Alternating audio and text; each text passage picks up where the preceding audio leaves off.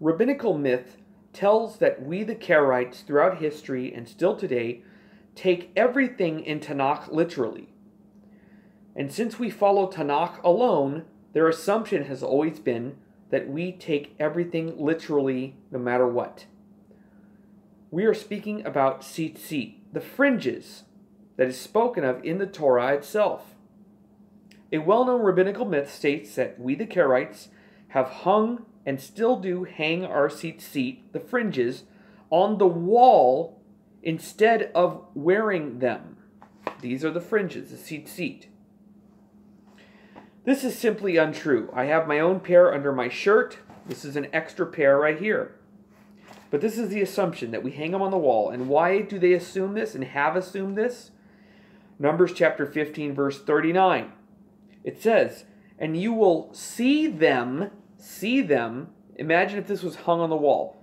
They're saying, And you will see them. We take it literally and look at the wall like this. And just look. We see them. And you will see them and remember all the mitzvot of Yehovah. The rabbis assume that the Karaites take this verse as well as the rest, literally all the time, and since a person can see the tzitzit or the fringes that are hanging, there is no need to wear them, and there was no need to wear them in the past.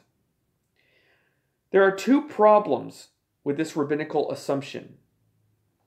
The first is that we, the Karaites, do not take the Tanakh literally all the time. Okay? That is not true at all. We do not take everything literally all the time, but rather require that every single, that's right, every single interpretation must be based and stand up by true study and careful study of the entire Hebrew Scriptures in context and stands up to the same objective scrutiny regardless of its source. It must be studied in context and carefully. That's the Karaite motto. Study the scriptures well and do not rely on anyone else's interpretation, but study the scriptures well. That means to study hard and study carefully. That's what we do. The entire Tanakh. The second problem is that the rabbinical myth interprets Numbers chapter 15, 39 out of context. While taking something out of context is typical for rabbinical interpretation, it is unacceptable to the Karaite whatsoever. A closer look at the passage in Numbers chapter 15, verses 37 through 41, shows that the command of the tzitzit apply only to clothing. As the passage specifically states, again, context, context, context. And they will make for themselves tzitzits on the corners of their garments. That's in Numbers chapter 15, verse 38. The biblical Hebrew word for garments is beged, beged in Hebrew. It relates to something that is worn as clothing, and therefore it is absurd to assume that we would read this and then believe that you have to just hang it on your wall. It's ridiculous. Furthermore, Deuteronomy chapter 22, verse 12 specifically states that the tzitzits are to be put on the four corners of your clothing, which you cover yourselves with. The motivation for this misunderstanding is quite interesting. Why would the rabbis slander the Karaite tzitzit practice? The answer truly is that the Torah commands that every four-cornered garment have the tzitzit fringes, strings attached to it, and among those strings must be a strand of blue, tekhelet.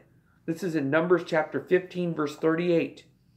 While we, the Karaites, faithfully have carried out this practice and still today by placing the blue in the tzitzit as written in the Torah.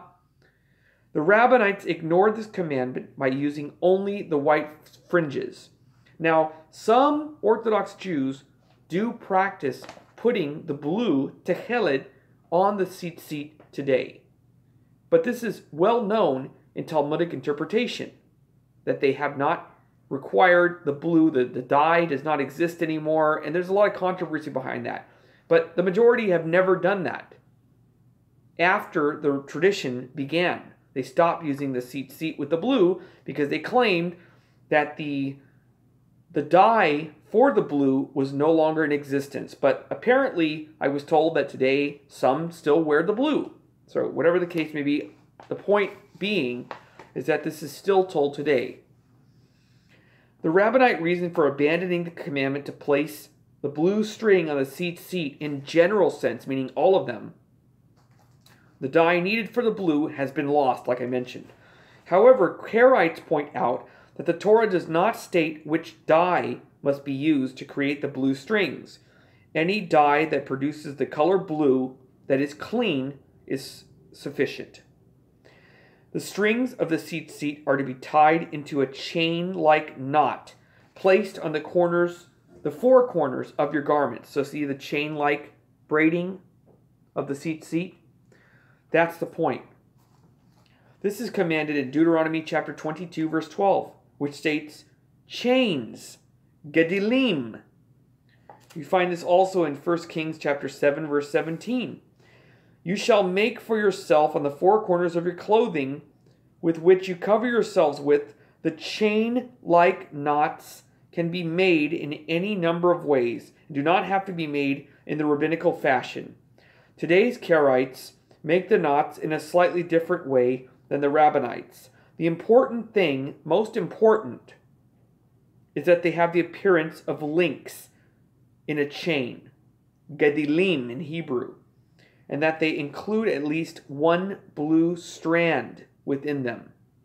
The word seat itself literally means a braid or a plait, as in the verse, and took me by a plait of my head or a lock of my head. Thus, the design of the tzitzit must be that of a braid or a chain or a plait of hair, which is the same design as the links in a chain. I hope this was helpful. Please hit the like button if you enjoyed this presentation. And if you haven't subscribed, I hope you'll do so. Shalom, my brothers and sisters. Thank you.